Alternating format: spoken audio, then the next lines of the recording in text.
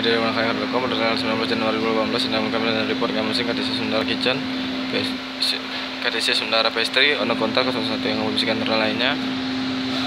Kondensor terkondensor gasket serta bodi.